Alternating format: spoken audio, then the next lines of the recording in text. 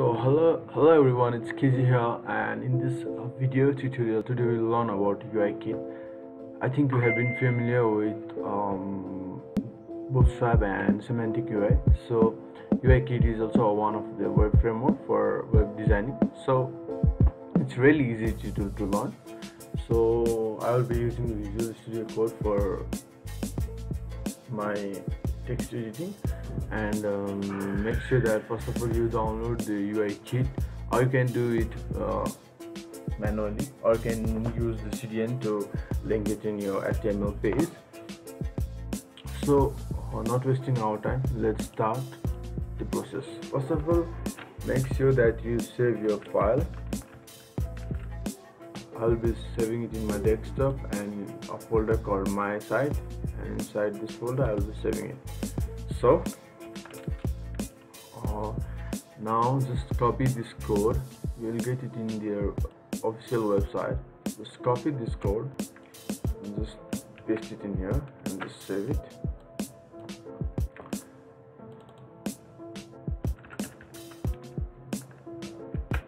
So now first of all we will go live so as you can see here there is nothing in here. Now we will check it. First of all let me go to the components. Let me check alert. So if this works then we are done installing. Okay. I have copied this and I'm just pasting. Let me save it let's okay. Uh, it's working. It's working so let me try another one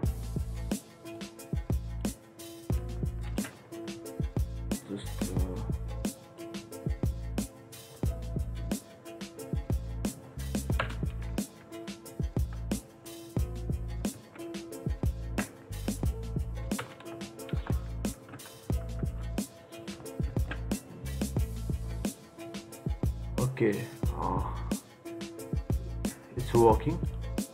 Okay you can refresh it. And it's done. So I'll be continuing my videos. So don't forget to subscribe my channel and like my video. Thank you